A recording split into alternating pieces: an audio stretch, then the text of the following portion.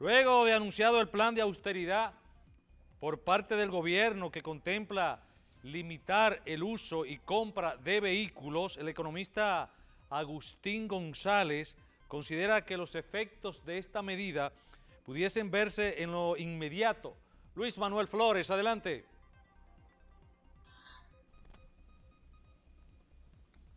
Muy buenas tardes, Lamur. Gracias una vez más. El presidente de la República, Luis Abinader, hace dos días dio a conocer el decreto 396-21 que concierne a un plan de austeridad, entiéndase recorte de gastos en numerosos aspectos del presupuesto nacional, reducción de combustibles, limitación de la utilidad de los vehículos en fines de semana y días feriados, pero más allá de estos términos que más bien corresponden al titular, conocer a fondo las implicaciones de estas medidas en un presupuesto poco más de mil millones de pesos que ya está establecido, destinado al uso de las políticas sociales de nuestro país y que debido a la pandemia también ya se ha tenido que hacer algunos otros reajustes y por qué no recordar el caso con los combustibles que ya el gobierno adeuda más de 3 mil millones por este concepto, pero el término austeridad lo vamos ahora a desglosar con el profesor Agustín González, es economista, eh, político también.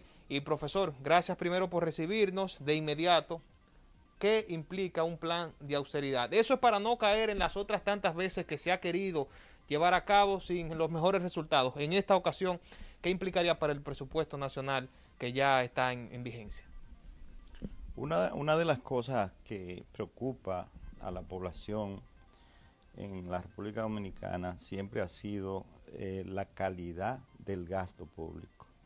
El presupuesto nacional eh, en todos los gobiernos, y parece que quizá este podría ser la excepción, eh, se ha visto como una, una piñata que hay que repartirla entre el funcionariado y ese funcionariado ha hecho con el presupuesto nacional eh, lo que le ha dado la gana. Y por eso en la psiquis, la mente de la población, eh, figura la idea de que el funcionario público es un malversador de fondos, es eh, una persona que malgasta los recursos públicos, que son en definitiva recursos que pertenecen a la población. En tal sentido, cualquier medida que tienda a eficientizar y a mejorar la calidad del gasto público es, eh, sería una medida eh, atractiva.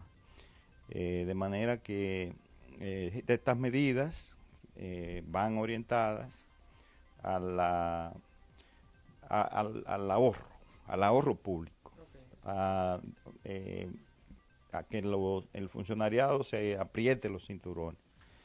Eh, porque eh, tenemos un pasado muy reciente donde aquí había funcionarios que tenían hasta, hasta cava en, su, en sus oficinas públicas. el impacto de este plan de austeridad, ¿cómo usted lo podría vaticinar? ¿Tendría impacto inmediato, a mediano plazo, a largo plazo? ¿Cuándo podría el pueblo ver esta, este, este efecto? Porque hay que decir, profesor, que estamos viviendo en una sociedad de día a día con, la situación de la pandemia. Eh, lo único que va a permitir eh, es eh, el impacto se puede ver a, a, corto plazo, comparándolo con los ejecutados. ¿Esto no afecta el presupuesto de por sí? Afecta el presupuesto. Pero, ¿Negativa o positivamente? Positivo lo, lo que estaba presupuestado, que era un monto determinado, va a ejecutarse en, en, una cantidad menor. Profesor, ¿algún punto de vista sobre el tema de las salsas en los productos de la canasta básica? Posiblemente recordará algún episodio anteriormente en donde el país se enfrentó a esta situación y de acuerdo a los estudios que realizaron en ese momento, ¿cuáles serían las mejores medidas que se pueden tomar? Porque como le digo, es una sociedad que vive día a día actualmente. Mira, la única manera de controlar las alzas de precios, sobre todo en el caso de, los alimentos, que es lo que más consume la, población más pobre, es eh, controlando la intermediación. O sea, no es posible, por ejemplo, yo eh, tengo un amigo productor de plátano que está vendiendo las unidades en finca a cuatro pesos. pero cuando yo voy al supermercado, esa misma unidad de plátano vale 15 pesos. Entonces, ¿qué está pasando? Eso es especulación. Eh, tiene que ver con especulación y tiene que ver con, con la intermediación, con la intermediación. Pero eh, para el gobierno, la, lo, la, preocupación debe ser que la mayor propor proporción del dinero llegue al productor, pero que al consumidor ese producto le llegue también a un precio razonable. O sea, si, si se compró a cuatro pesos en la finca, el consumidor no debe comprar ese producto a más de ocho pesos. El do, a, a, lo sumo el doble. Finalizo por, por, con, esto, por, con esto, profesor. Entonces debe cuidarse la, la, el bolsillo de la gente. Claro. Finalizo con esto. Ante esta situación se plantea ya, de acuerdo a los sindicatos, un aumento salarial de un 40%. ¿Usted ve razonable, aunque ya el presidente incluso ha dicho que sí, es justo, pero hablar de esa dimensión 40% para un aumento, ¿cómo lo considera el profesor Augusto González? Bueno, los trabajadores siempre van a pedir un monto alto para llegar a un punto dicen intermedio. Que dicen que se le tira la luna para llegar a la estratosfera. Exactamente.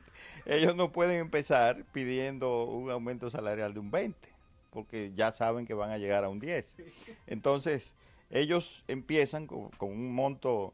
Lo que hay que ver es si, si, la, si la, después del último aumento salarial hasta la actualidad, cuál ha sido la inflación acumulada. Okay.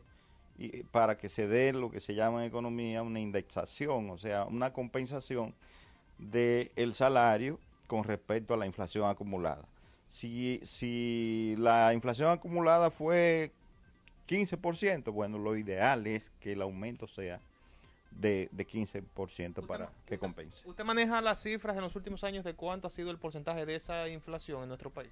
Bueno, están ahí en el Banco Central. Podríamos calcularla y, y en la próxima ocasión que conversemos yo te podría dar una estadística de, digamos, los últimos cinco años eh, de la inflación acumulada. Muy bien, gracias al profesor Augusto González, economista, político, por dedicarnos este tiempo y esperamos haber arrojado luz un poco sobre estos conceptos, estos términos propiamente económicos y políticos. Retornamos con ustedes al set de noticias.